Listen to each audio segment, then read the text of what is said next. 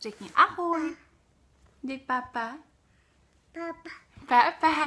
Krásné odpoledne nebo krásný den vám všem, kteří jste se rozhodli sledovat další video testování hraček B-Toys. Tentokrát zde máme krásné piánko B-Toys. Kočičí piánko mňau mňau které eh, si myslím, že v posledních dnech zažívá opravdu zátěžový test, protože Rozárka, jelikož je ještě malá, tak samozřejmě uh, neumí na to hrát jako uh, dítě, kterému je pět let.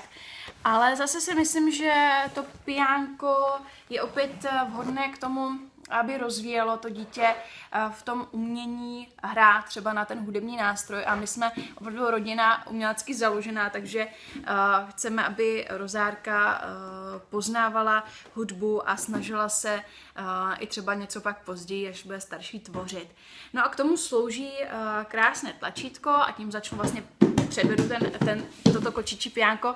K tomu slouží tlačítko Record, kde vlastně můžeme nahrávat ty první, první melodie, které to dítě skládá. A když dáme play, tak se nám to přehraje. Viď? No a teď eh, vlastně v poslední době začala Rozárka hodně využívat mikrofonek. Eh, tam vám přiložím i video a uvidíte, jak do něho zpívá. Ukaž, pojď sem, pojď tady. Pojď. La la la la.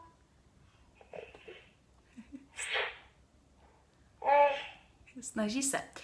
Když takhle vlastně to dítětko promluví do toho, do toho mikrofonu, tak, tak se to ozve tady z toho rypráčku trošku víc nahlas, tak si myslím, že... A! Teď se slyšíš dobře.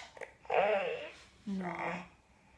Tak samozřejmě teď ještě je to takové, že to i ochutnává. No, co zaspíváš, viď? Něco nám pověz. No a my uh, vlastně můžeme, můžeme uh, nebo to dítě si může zapnout tady různé krásné melodie. Celkem toto piánko nabízí 20 melodií, které se zapínají tady, eh, tady tím houslovým klíčem. A tany tany, viď? Tany tany, ano. A další. No pokud nechceme ten mikrofonek, aby používala, tak tady je tlačítko, který ho krásně schová. Rozárko, uděj tany, tany. Tany, tany. Tany, tany, ano. a další. No a to jsou melodie. A pak tady máme kočičí písničky. Tanice kedy, tanice kedy. Mňau. To se nám líbí. A je tam spoustu uh, a, a je tam mnoho melodií a celkem 20 a, a ty kočičí písničky. Tak, ano. No a pak zde máme uh, vlastně tlačítka, kterými si může děťátko měnit, uh, měnit nástroje hudební. Uh, mně se nejvíc líbí, pac, mně se nejvíc líbí uh, tady to kočičí.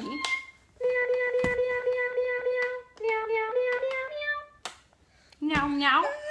Mňau, ano, pak tady máme varhany.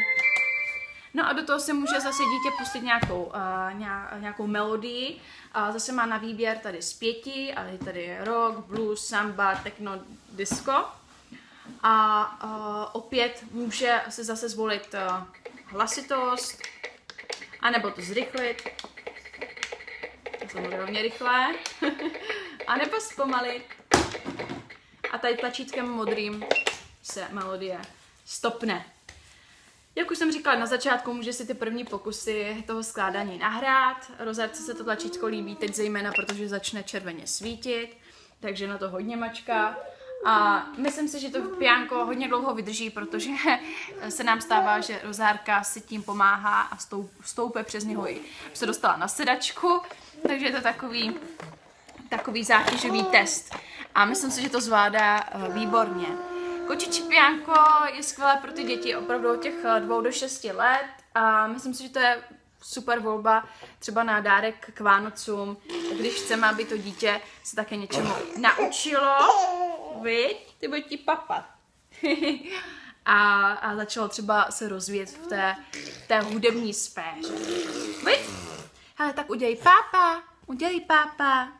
No a my se uvidíme u dalšího testování Beat Toys a ukážu vám také krásný orchestr, no už tady, koukej, od firmy Beat Toys. Tak se těším. Papa, papa.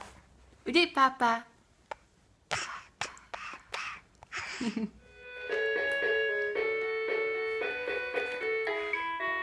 Zaspívej něco.